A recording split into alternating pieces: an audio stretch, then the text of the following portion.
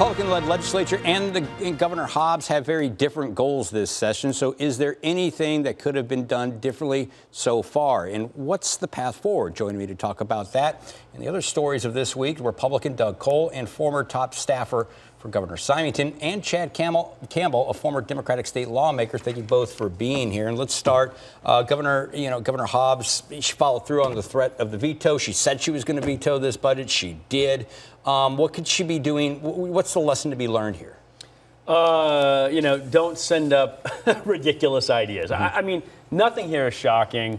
This was, I, I think, in my eyes at least, an attempt from the Republicans to kind of unify their caucus uh, you know, everybody knew Governor Hobbs was going to veto that budget. Had she not, she would have lost all leverage. But I think the outcome of this now is the governor needs to find those adults in the legislature, bring them into a room, and start talking about a real budget. Yeah, but it's it's it's up to the governor. You know, I talked to her chief of staff, you know, Allie Bones. You've worked with with governors in the past. At the end of the day, they're the executive. They got to figure a way out. And right now, the relationship that Governor Hobbs has with this Republican-controlled legislature is not good at all. How does she move forward on this? Well, remember, she has the biggest bully, pit, bully pulpit of all. Yeah. It's 16, 31, and one. Mm-hmm. And she needs to learn how to be that one mm-hmm. and sit back and, and, and be strategic when she inserts herself.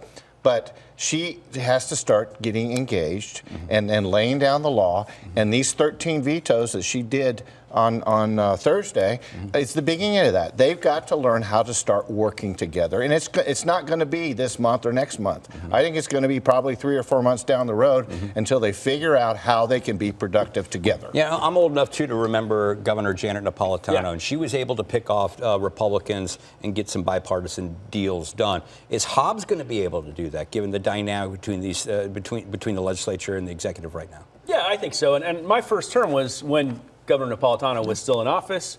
Uh, you know, there were a group of us uh, on the Democratic side with a group of Republicans who met on a regular basis. We met in the basement. Actually, we called ourselves, I think, the Mushroom Caucus at one point because we never saw the light of day. And, you know, we, we worked with Governor Napolitano and her staff to come up with that budget. I, I kind of compare it now, though. I, I feel like uh, the Governor Hobbs and the Republicans are like two fighters in a ring trying to throw some jabs, figure out each other's mm-hmm. weaknesses, and eventually we're going to get to the real deal here in the next couple. Should they be doing more reach reach out and commun- try, trying to attempt to communicate more uh, with the Republican legislature? Uh, right well, now, there's no indication that's happening. I think both sides. Yeah, but, but, but I, I think I think the, the budget didn't come out of the House easily. Yeah. They, they yep. had some fighting within their own caucuses. Sure. And, and that's going to continue in the in the Senate and the, in, yep. in the House. Those caucuses are, are it's a big lift for Speaker Toma and President Petersen to keep his own caucuses together and then try to deal with the dynamics of dealing with the ninth floor. All right, let's move on now. Another big challenge is here is the her, her picks to run the agencies. Now, we mm-hmm. saw uh, Dr. Cullen withdraw her name uh, for consideration to run the state health department. No indication that it's going to get any easier for some of the other picks for the agency here.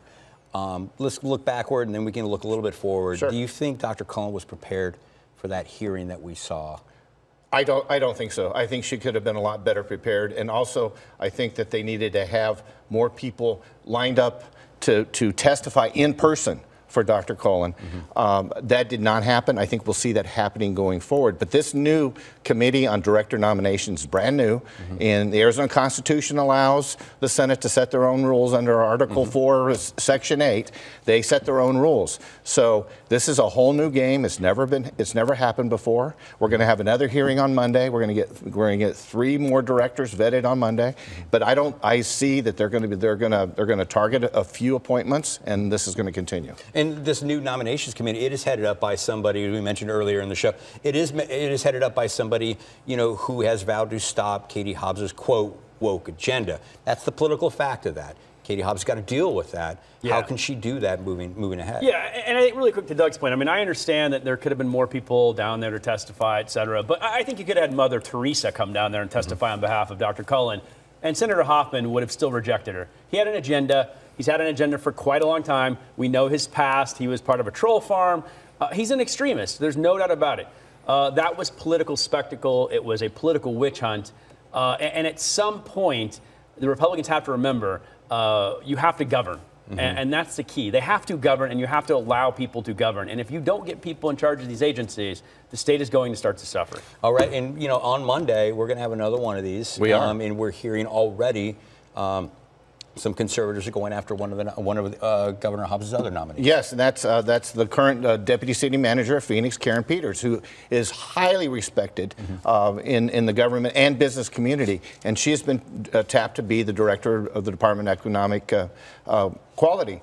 And we're already seeing libertarian groups already sending out mass emails, tweeting uh, that you know she's all part of the Green New Deal. So I think she's next, and I think the the director nominee for the Department of Child uh, Safety is also going to be a target, along with the director of Department of Corrections. All right, well, we're going to have to wait and see how this all plays out. Thank you both, gentlemen, for stopping by here this week. But that is all the time we have. Be sure to join us next week for more Politics Unplugged. Good night.